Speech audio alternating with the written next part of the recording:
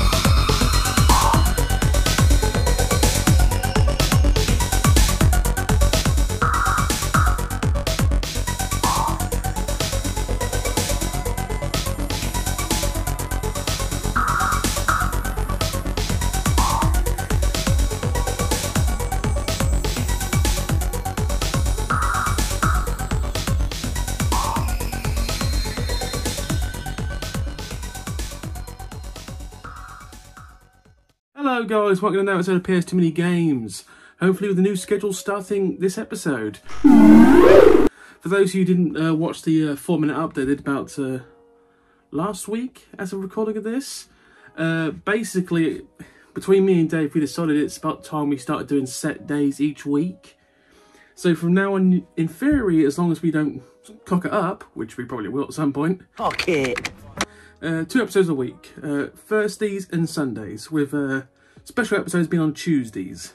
By special, I mean extra, extra episodes. So that's the plan. Let's see if it actually works. to be honest, I don't know. I ain't got a clue. Uh, if we change the days, that means the Sundays and Thursdays were not popular. Obviously, I'm completely shaved. I've got the baby face back on. Look significantly younger. Don't have the hobo beard anymore. It was getting a bit long. Yes, look at my shiny face. yeah, but seriously, the hopefully the set days will help for this channel uh, because I, I like to get some normality in. Because sometimes I'm literally me and Dave are just like flying by the uh, flying for like the wind. Some days we'll record an episode and I will literally edit it and put it up on the same day, like hours after recording. Some sometimes it'll be like two weeks later. Uh, Dave's more like um, methodical, or I literally just go for it, record, edit, load, up. Brain died. So um, I have been away in the north for the last week. I stayed in Doncaster. You from? Doncaster. I love that. I love that. Doncaster. Amazing. Uh, before we go any further, I just want to make this statement right now.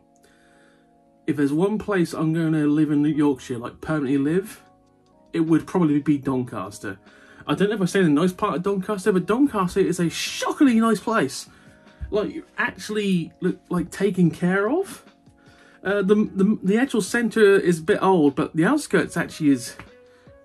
It's a nice town. It's a nice town. Good job, Doncaster. Seriously, I'm not taking the piss it's probably the nicest town in Yorkshire. That's going to piss a lot of people off, but fight me, fuck it, fight me. My opinion, I, I enjoyed staying in Doncaster, I really did. Did I go to Doncaster CEX? No, mainly because A, getting to Doncaster CEX is kind of a pisser. B, didn't really have much I really wanted at the time. And C, I've already been there, I want to go somewhere different. And somewhere different we did. right, so like last time I went away for a week, I went to like 10 CEXs. This time I was a little more moderate, only seven this time. I know he's getting lazy, but of the seven CEXs I went to, I there were ones I could have gone to, like Mansfield, but they had nothing I wanted, so Mansfield got skipped. I'm sorry, Mansfield. I'm sure you have been a good CEX, but you had fuck all I wanted. You bastard. In all seriousness, I've started looking more for accessories, mainly like different color controllers. But lately, my luck for finding them has been greatly, well, not greatly, terrible. It's been terrible luck for finding like multicolour controllers. Uh, because I need to find them all. There's still like five or six colours I need to find. I mean, I've obviously got the black one, silver one, pink one, but not red, no blue, no yellow, no green. Kind of annoyed by that. so these are the seven CEX I went to in the last week. Hopefully Dave will put something on a list on here. We'll go from one by one. So today we'll be talking about Worksop and Retford. But future episodes will be Scunthorpe. And I've forgotten the other four. so I managed to actually go to 77 different CEXs this week. Uh, not planned, this happened because we're just going to certain places. For those of you in the Discord knows exactly where I was going. Uh, for those of you who don't, mm. but anyway, the seven sixes I hit this last week as of the recording were Retford, Worksop, Scunthorpe, Crystal Peaks, Chesterfield, Sutton-in-Ashfield, and Catterick. Now, Catterick's a bit of a strange place because Catterick's basically a military base that has a town around it. we'll get to that in a future episode. But today will be Worksop and Retford. Two different places, I must be honest. Uh, if anyone ever been to Worksop, Worksop was a not so much a strange place. First of all, it is it was, and hopefully I'll show in the recording, the most dead town centre I've ever walked through. There was literally nobody there. It was depressing. Uh, I don't know why that was, but it made it easy. The car park I used had a total of four cars, and it was free parking. And they still don't come to Worksop. So that must say something about Worksop. Not judging, it's just facts. This happened. on the other hand, Retford, a place I'll be honest I never even heard of until I saw it on a sign, was a would I dare say middle class small town? Kinda.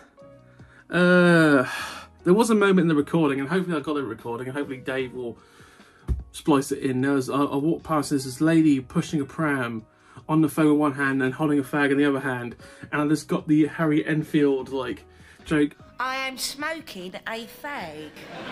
All in all, five games picked up from between both CEXs. Are they like top end games? No, no, no. Are they shovelware games I've been looking for some time? Ding! and I mention this all the time. Sometimes finding the shovelware is actually a better point to find some of the rare games because some of this stuff no one kept and it is hard to find. so, especially of these games.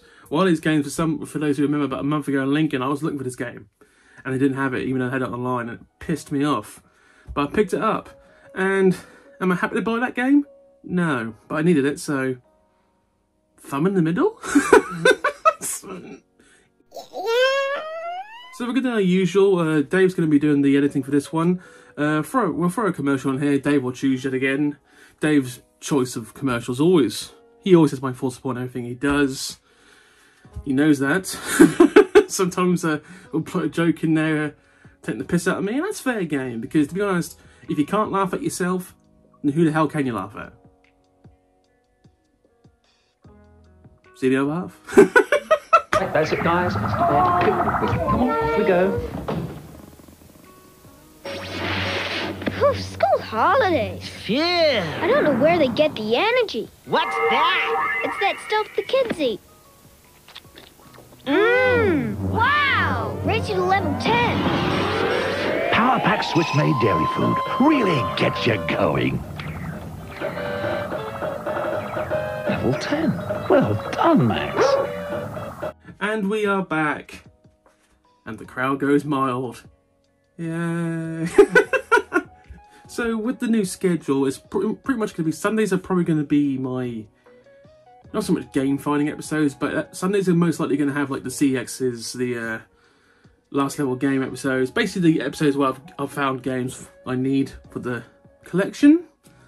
And Thursdays will either be a mixture of CEX roulettes because I'm going to start doing those, those again, uh, talking about uh, collection issues and other random episodes. So Sunday will probably be more the main event of this channel, and Thursday will be like episodes I probably will do the editing on. We'll see by the views which who does the better editor, Dave. I mean, it's clearly Dave. Let's be honest about this.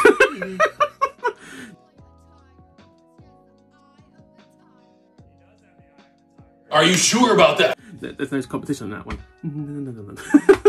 One more thing before we get into. So for those who have my online list, and I have an online list, it's on the Discord, you can, you can get it. You had to take this into account. Sometimes I will miss taking a game off that list. I'm not fantastically punctual on that one. I will remove them when I usually buy them, but sometimes I will forget because my memory is terrible. so if I ever get a message like this is on your list, you still need this game. Sometimes I look in the get, I look in there and go, I've actually got that game, and I had to be like be, go back embarrassing and go, yeah, I've got that game. I've got the full list. I'm sorry, I'm so sorry. and uh, that is starting to happen a couple of times. Usually it's with the shovelware games, by the way. So if there's still shovelware on that list, there's a small chance I might have it, but I forgot to take it off that list. Rare games, there's a very high chance I still need those. So remember that, because my memory and my punctuality for checking that list is not great. It, it's good. It's just, it's just it's just not great. So thank you. Now let's get into the games. Speaking of which, the first game, to be perfectly honest, I thought I might have owned, but it was only £1.50, so I took the risk, and apparently it's not on my wall. So either it's in my pile of games I, I need to, like, sort out. There's about 40 of them right now. But ho hopefully I haven't got this. E XS Junior League Soccer. I mean, this is about as a shovelware as it gets. By the way, if you see the light, it's because the light's on. It is currently 8 o'clock and the sunshine outside is gone. So I'm going to need that for the uh, light. anyway, am I happy to buy this game? From a shovelware standpoint, yes. From an actual like adult standpoint, no. This is kind of depressing. But it, it's in good condition. The disc is actually in the game, so yeah. I will search for a manual, but I'm not going to search for a manual like hard. With mostly shovelware games, it's impossible to find these manuals and only worth like a quid, £1.50, so it's not high on my list. I'll be real about that one. My rule of thumb is anything worth more like three or four pound up, I will demand a manual. Anything below that, I could probably just buy another one with a manual in the future. Nah. And by the way, I do have a list of games I don't have, of like cheap games with no manuals. I think like 10 of them, but I do keep that list. That's how sad I am sometimes. Second game from Worksop CEX uh, was uh, the game I've been looking for some time. Sadly, I finally found it. Lucinda Green's Equestrian Challenge. This is actually a incredibly hard game to find because no one kept this for obvious reasons because it's a horse equestrian game for the PS2. Why would you keep this? but yeah, I tried to get this from Lincoln and it wasn't on their list, but when you got there, we don't have that actually, so no way you did not update your list, you didn't do your job properly. Well done, mate. Well done. Well done. I'm not bitter. I'm not bitter. Uh, there is a side note with Worksop. Uh, Worksop, I actually, the main reason I went there was because they had a online accessories, a PS2 red controller. And I really wanted it because that was one of the harder ones to find. I got there and uh, they bought in the controller and it was a PS1 controller. Do you know how you can tell the difference? Very simply put, the wires for the PS1 controller are grey. The wires for the PS2 controller are black. It is a very, very simple thing to notice. And yet, this is the second time at CEX where I've tried to go for a controller and they didn't fucking notice. Now, to be perfectly fair, for those who have no idea about old gaming consoles, only do like the phone side of CEX, I can fully understand that. But it still kind of annoys me that they can't tell the difference of colour. yeah, moving on. uh, oh, but before we move on, I just want to say, this time, last time I actually was a pain trying to organise with the 10 CEXs, but this time I kept them all in the same bags. And I put I actually put names on the bags. like for sorry, uh, yeah. I'll pick it up. See, it works up. So this time I actually organised. Because you had to, because last time it was just chaos trying to organise through this and trying to remember which game came from which shop, so... Progress has been made again at PS2 Many Games. The crowd rejoices. Right, quickly moving on to Retford, a better CEX than uh, Worksop. Because, be fair, Worksop was organised, they just didn't know the difference between a colour controller cable. Still not better. Uh, Retford was not only better organised, but just politer. Uh, nothing against Worksop, it's just Retford tried harder. Simple as that. I would go back to Retford CEX again, because I got three games for it, nothing major again, but these are games I've been looking for. Uh, this one's actually shockingly hard to find. I'm sad that I actually had to find this. American Chopper 2. This arsehole got a sequel to his first game. Now, for those you ever watched uh, this guy, it's an American TV show where they restore choppers. I found it somewhat boring, but for those who love that kind of stuff, these were your guys. They were popular, and they actually got two games of the PS2. Sometimes I question humanity's choices. uh, yeah. And yes, the disc is in the case. You make one, one time you forget to check the disc and everyone reminds you. But to be fair, you're correct. It was my fault that time. Game number two from Retford. This actually was shockingly hard to find. Ferrari Challenge Choro Pirelli. Now, I'm going to do that because I can't pronounce it. Now, there are like, I think there's like two different Ferrari games. Uh, I've bought the other one like two or three times, thinking it was this one. And every time I bought it back, I already had it. So that kind of annoyed me. So to find this actually was kind of a win because this is not common. This is actually very hard to find. And uh, £5 was very happy paid for that one. Am I a fan of Ferraris? No. I... They're cool, I suppose, but Formula One wise, I always think if any team's going to cheat, it's going to be Ferrari. and I'm not, I'm not, a, I'm not a fan of cheating. If you got to cheat to win, it's not winning. It isn't. No, no joke there. Just serious time with PS2 Many Games. now, the last game will actually shock you. Uh, so, in the past, I've stated that sometimes, like the most common franchises, I will like miss one game for. And the main reason for that is simple. I just naturally assume I owned all of them, and I just stopped looking for them for like months and months and months. And sometimes you got to actually check what you've got. Just go through them and then you just notice, hang about, I thought I owned that game. Uh, it happened with Time Splitters. Time Splitters, the original, took me ages to get because I thought I actually owned it, but I only owned the Platinum, not the actual original. And this game actually probably the best of the SpongeBob franchise. I didn't open own till now because I thought I had it. Uh, Battle for Bikini Bottom, SpongeBob SquarePants. This probably is one of the most common SpongeBob games. I've been told one of the best SpongeBob games. I never actually played it, and to be honest, I'm actually kind of embarrassed it took me this long to get it. But it's one of those franchises where you assume you own them all, and you just stop looking for them. And that was uh, one of the mistakes I've made. So for any collectors out there, always make sure for like, the most common franchises you actually have them all, because sometimes your misplaced arrogance, which I had at this point, shows you to actually be incorrect. so getting this was actually not hard to find, but after some thorough looking on my list yet again, I actually needed it. And I want to make this perfectly clear. Uh, sometimes I forget I buy games, and they'll be on my waiting pile. So like two or three months later, I still ain't gone for the waiting pile because I, I rather I organise this all in one go when I get at least 40 to 50 games because it takes hours to organise it, move it aside. So I want to do it all in one go so I ain't got to get up and down on my goddamn knees all the time. So you bought a game from a CEX using what you believe to be correct information from photos, which I do take commonly, but then you kind of forget, did I buy this? And then you realise you hadn't. And for those of you who remember about two months ago, I also bought SpongeBob's Atlantic, the Atlantis one, SpongeBob, and I thought that was the last game I needed. So I checked again, and I was still missing Battle for Bikini Bottom. So I can confidently say now I actually have completely finished SpongeBob. Will not make that mistake again. Trust me, I've, I've spoken to all kind of collectors. They all make these kind of mistakes. They think they own stuff. They don't. It's very hard to keep on top of things and it might sound really stupid, even though I basically live by I live when I'm a person, and he went and he went touching at this, he went there. Sometimes, I swear, and this this, this it's domestic terrorism. This is domestic terrorism. If you're in a relationship with somebody, all they've got to do is either remove one cane and just make it look like nothing's missing, or do even worse, remove one disc from a game but leave the case in that's domestic terrorism when you when you're a partner of a collector. it's the same.